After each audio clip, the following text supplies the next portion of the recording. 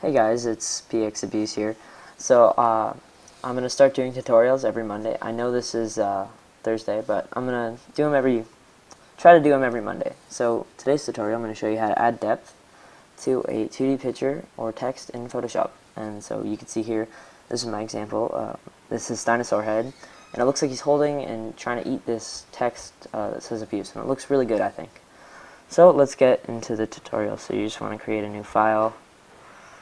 Know, sorry for the noise in the background. Noise in the background. That's my sister. So 1280 by 720, and you know you can choose uh, use a light gray A9, A9, A9. So I'll just you can see what that is, and you just want to you know fill your canvas and you can drag your text. This is just some simple text I made. You can make your own in Cinema 4D or whatever scale it up.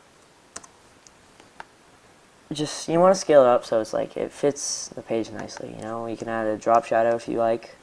I mean, it really, it's all up to personal preference.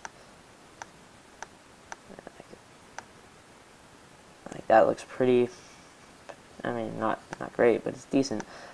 Add a gradient overlay, I mean, you don't have to. If you feel like it, you can. I like to drop the opacity down on mine. So let's get into really what this tutorial is about. So I like to start with a claw. So you can grab the claw and you can drag it onto your canvas. And obviously that's really big, so you just want to zoom out a little bit and scale it down. So it looks, you know, whatever you think looks the best. Just drag it on. And the rule I like to do when I'm using this technique is if there's claws or talons or whatever, I want to make sure all of it all the talons, you know, are on the side of the text. So like, see there, there, and I just want to maybe scale this down a little bit more, position it, maybe rotate it a little bit.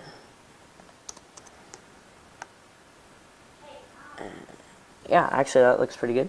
So uh, the way I do it, you drag this behind your text, and you duplicate it, Command J or Alt J. You bring your second layer over top, and you want to go to your eraser tool, and it's a it's on 21 right now, but and you want to grab a hard brush, you go down to about 12, 13, you know, somewhere in the teens, and you just want to kind of erase around the parts that you don't want to be on the text.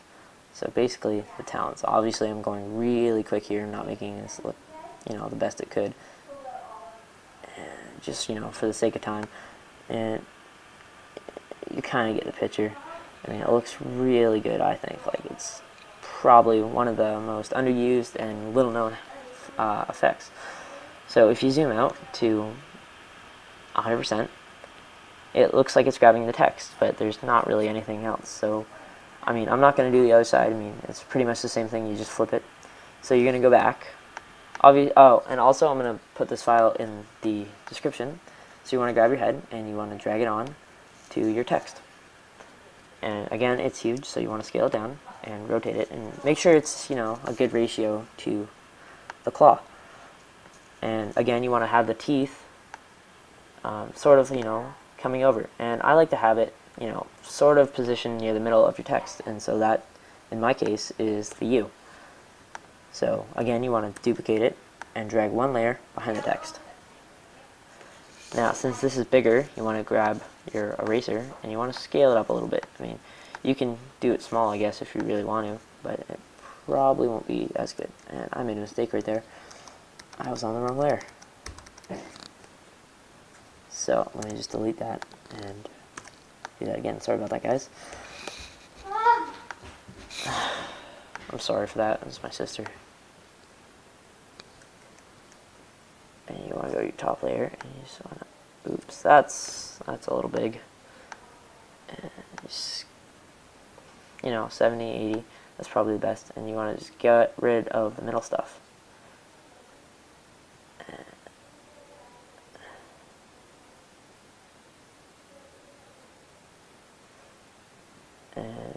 I like the way I did it. Oops.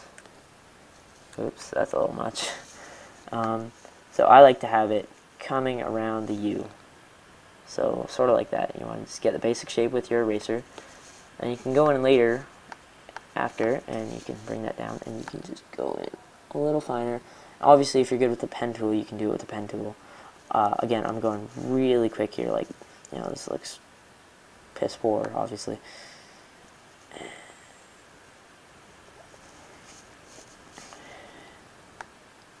And again, you want to bring it around the U.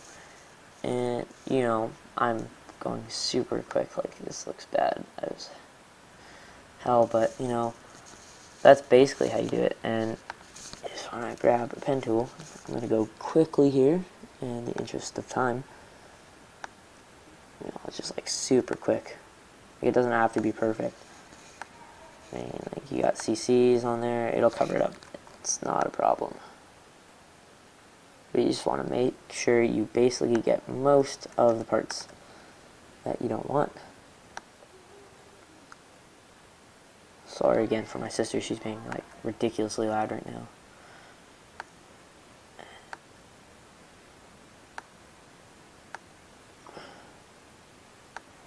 Okay, so obviously I'm going a little bit fast on the pen tool. That's just because I don't want this tutorial be, to be longer than like six minutes.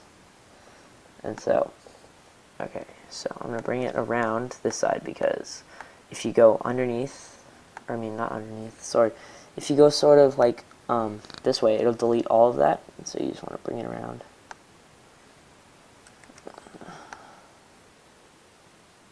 Yeah, that's, that's going to be good. And make selection select layer, inverse, delete. And uh, it'll look a lot better if you just take your time and go for it, but that's basically the effect. Thanks for watching, guys, and um, if you like this, you can give a like, I guess. And if you want to see more tutorials, uh, just give me suggestions, and I'll, I'll be coming out with them every Monday, like I said. And uh, if you have suggestions for how I can improve, you can, you know, do that too. So, thanks, guys. Thanks for watching. This has been pX Abuze.